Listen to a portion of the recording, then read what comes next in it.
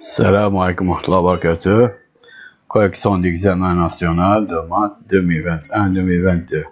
Deuxième bac sciences, euh, PC et SVT, correction d'exercice 4. Donc l'exercice 4 est un exercice sur les primitives et l'intégration et sur euh, les équations ou bien équations différentielles ou bien les équations différentielles. Donc, on commence par la première question. On considère ou bien soit la fonction h définie sur r par h de x égale à x plus 1 facteur de l'exponentielle de x.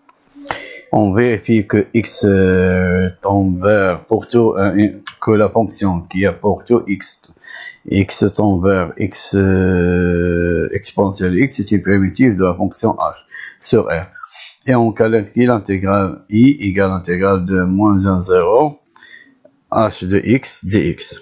Donc, pour qu'une la définition, pour que f, une fonction, euh, soit une primitive pour une fonction f, définie sur R, intervalle i, donc il faut que quelque soit x appartenant à i, euh, le dérivé de x égale f de x. Le dérivé de cette fonction f, euh, f majuscule égale la fonction f de x.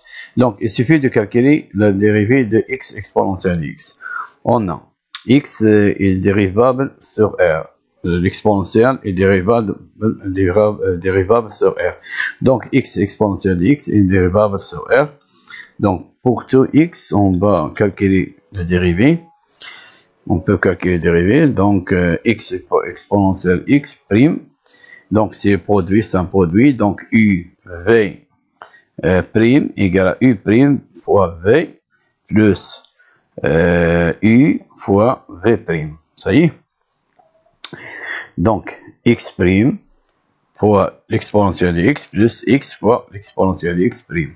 Donc, X prime, c'est 1. Donc, 1 fois exponentielle de X, c'est exponentielle de X. Et et x, euh, x fois exponentielle de x c'est exponentielle de x. Donc x exponentielle de x. Donc 1 fois l'exponentielle de x plus 1 fois x exponentielle de x. On peut factoriser par exponentielle de x. Exponentielle de x facteur de 1 plus x. Donc c'est quoi ça? C'est g de x. Voilà, c'est g de 1, c'est h de x. Donc qu'est-ce qu'on va... Euh, donc Qu'est-ce qu'on a donc Donc, x, euh, la fonction euh, qui a pour tout x tend vers x euh, exponentielle x est une primitive de la fonction h sur r. Donc, maintenant, on passe à la deuxième question. Dans la question 1, on va calculer l'intégrale entre moins 1 et 0 de h de x dx. Donc, on va utiliser ceci.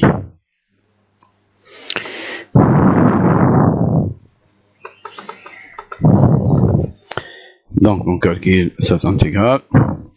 Comme euh, la fonction qui a pour x euh, tend vers x exponentielle de x est une primitive de la fonction h sur r, alors euh, l'intégrale entre moins 1 et 0 hx dx et c'est le primitive de h de x, c'est qu'on a ici, qu'on a trouvé x e de x entre moins, euh, entre, euh, moins 1 et 0.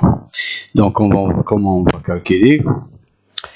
On va remplacer ici x par 0 et x ici par 0. Au premier temps, on commence par euh, le nombre qui se trouve en haut, 0. Et après, on remplace par moins 1. Donc, 0 exponentielle de 0, moins. Donc, n'oubliez pas ça, ici, c'est moins. Et on remplace ici par moins 1, c'est moins 1 exponentielle de moins 1 égal.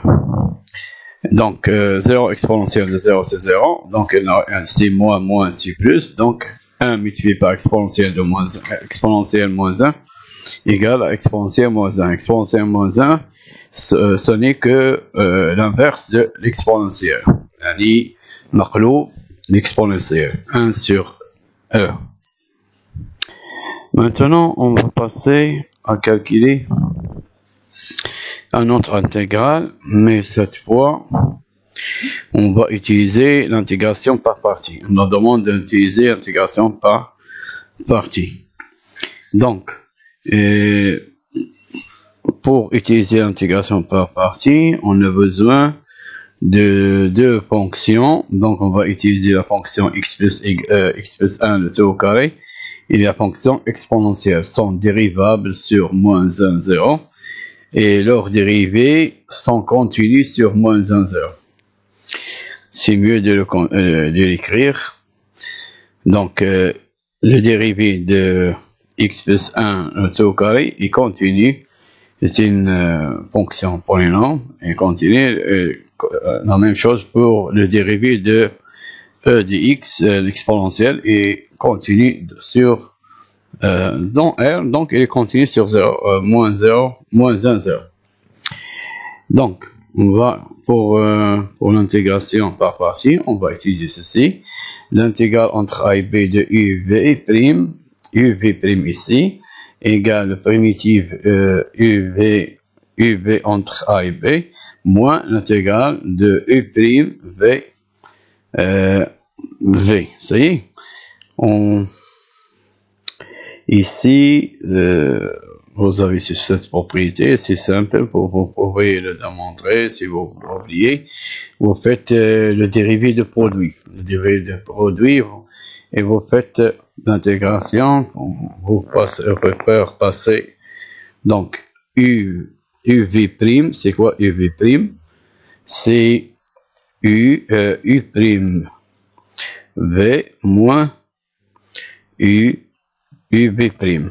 Et vous faites l'intégration, vous faites, parce que U' et V' sont continus sur l'intervalle AB. Hmm, c'est obligatoire qu'ils sont continus.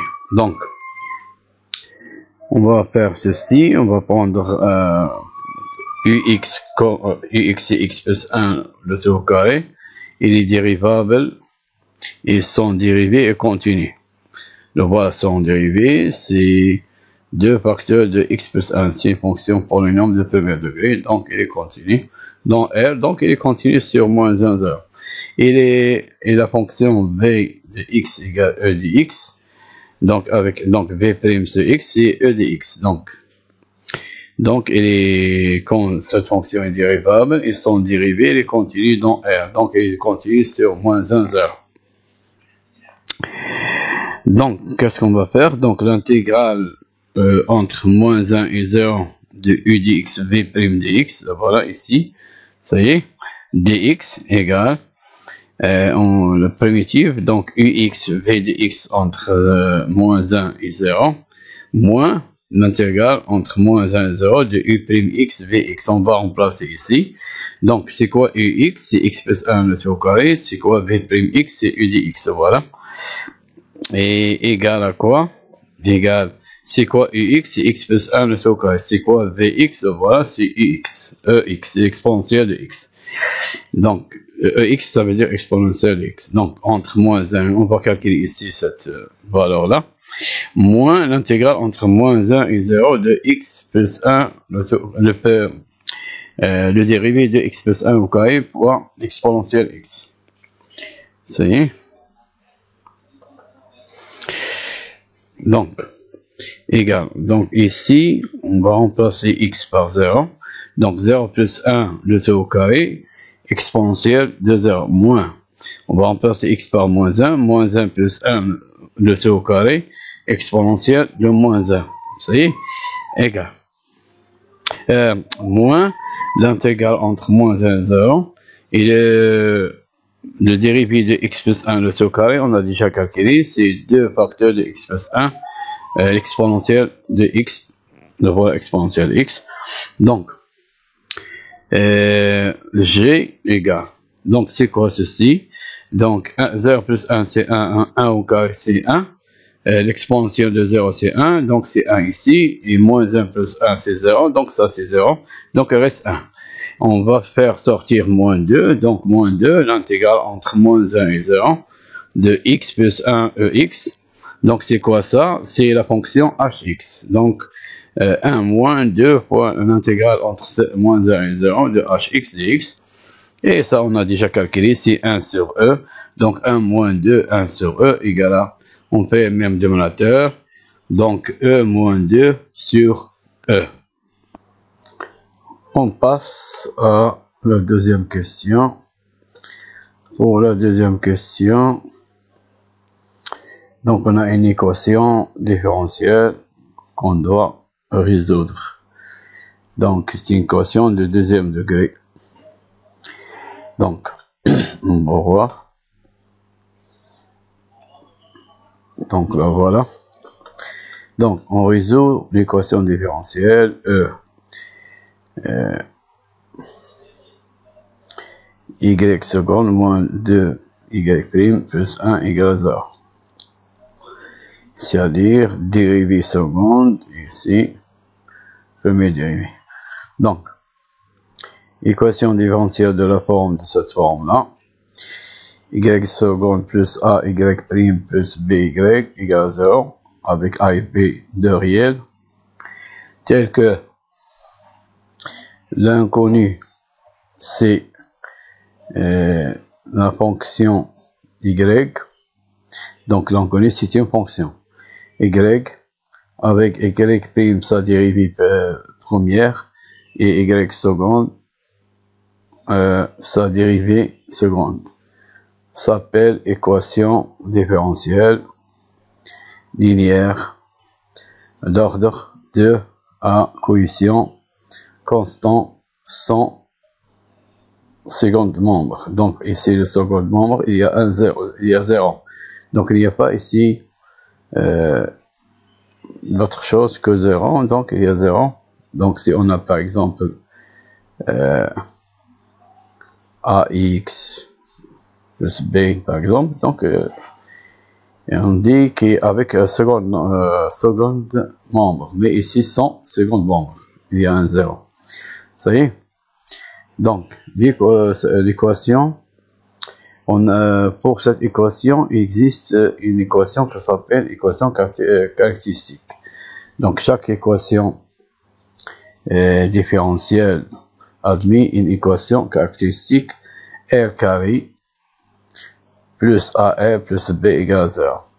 Donc, cette équation caractéristique s'appelle, euh, cette équation s'appelle l'équation caractéristique de l'équation y seconde plus a y prime plus b y égale 0.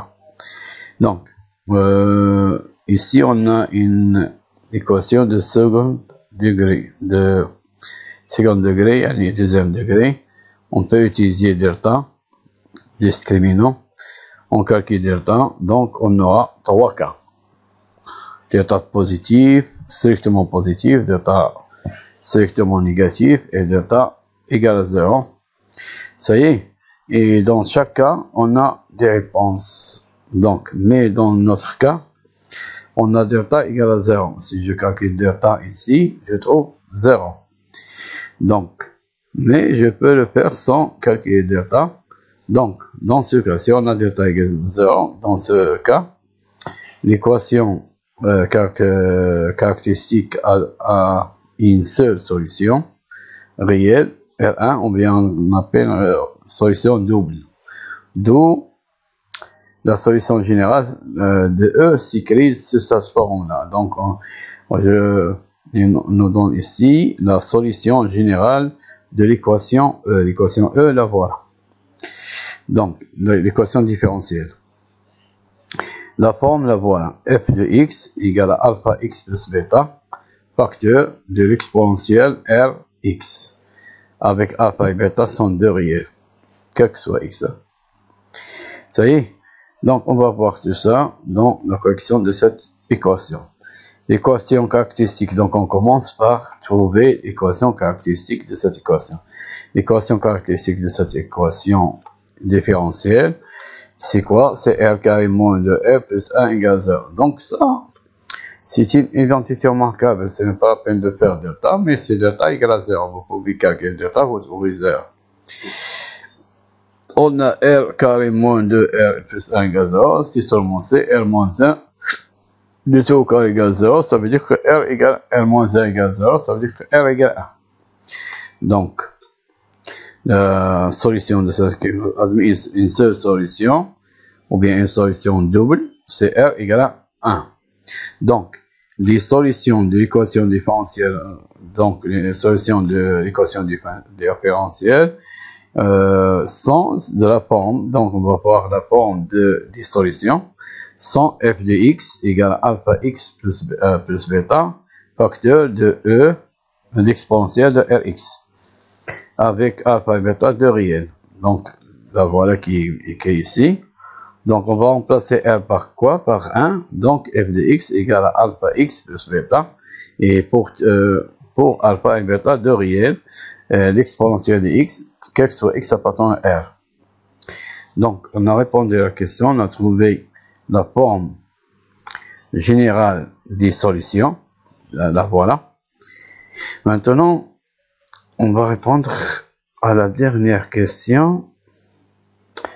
Pour la dernière question, montrer que la fonction h, donc cette fonction-là, est la solution de E qui vérifie, donc regardez si on a dit la solution, mais euh, l'équation E admet plusieurs solutions. Mais ici on dit la solution, pourquoi? Parce qu'on va donner des conditions telles que h de 0 égale 1 et h' de 0 égale à 2. Donc on va voir. Donc, on montre que la fonction h est la solution de l'équation différentielle euh, qui vérifie les conditions h0 égale à 1 et h 0 égale à 2. Donc, on commence par la première partie, que c'est une solution. Donc, si je prends alpha égale à 1 et bêta égale à 1, donc, ça, c'est la fonction, euh, c'est la forme générale qu'on a déjà trouvée dans la question 1. Ça y est, si je remplace alpha par 1 et bêta par 1, je trouve quoi? Je trouve f de x égale x plus 1 exponentielle de x. Donc, c'est quoi ça? C'est h de x, que soit x appartenant à r. Donc, dans ce cas, qu'est-ce qu'on va dire Que h de x, c'est-à-dire que h est une solution, regardez ici, on a dit est une solution de l'équation différentielle E. Vous savez, donc c'est une solution. Mais on va choisir euh, des conditions pour d'autres conditions. On va vérifier pour h de 0. On va voir, on va vérifier ces conditions-là, h de 0 égale à 1 ou bien, et h de 0 égale à 2. Si on a ces choses-là, donc on va dire que c'est la solution pour ces conditions, pour ces deux conditions. Donc, h de 0 c'est quoi? On va remplacer euh, ici par 0, 0 plus 1, exponentielle de 0, le voilà, égale à 1, parce que 0 plus 1 c'est 1, exponentielle de 0 c'est 1, 1 pour 1 c'est 1. Donc on a trouvé la première condition et les vérifier. On va voir la deuxième condition. Pour avoir la deuxième condition, il faut calculer euh, la, la, dérivée de, de h, h' de x, la dérivée de h de x. Donc, la dérivée x plus 1, le taux, euh, le taux facteur de, e, de de x' égale, euh, et donc on a ici un produit, donc la dérivée de, de x plus 1 multiplié par e de x, donc on a x plus 1 fois e de x. Ça y est, plus, on laisse x plus 1 comme elle est, on va multiplier par la dérivée de, de exponentielle de x. Donc, Ici, la dérivée de x plus 1, c'est 1, multiplié par l'exponentielle de x, c'est l'exponentielle de x. Et x plus 1 multiplié par la dérivée de, l'exponentielle de x, c'est l'exponentielle de x. Donc, on aura exponentielle de x plus x plus 1 exponentielle de x. Donc, ici, exponentielle de x multiplié par 1, et ici, exponentielle de x multiplié par x plus 1. Donc, on va factoriser par exponentielle de x, il nous reste x plus 1 plus 1 ça veut dire x plus 2. x plus 2 est facteur de exponentielle de x. On vient multiplier par exponentielle de x. Donc, on va remplacer x par 0. Donc, 0 plus 2, exponentielle de 0. Donc, 0 plus 2, c'est 2. Exponentielle de 0, c'est 1. C'est donc 2 fois 1, c'est 2. Donc, on a trouvé la deuxième condition. Qu'est-ce qu'on va répondre? Donc, la fonction h est la solution de l'équation différentielle qui vérifie ces deux conditions. Ça y est, et c'est fini. Merci.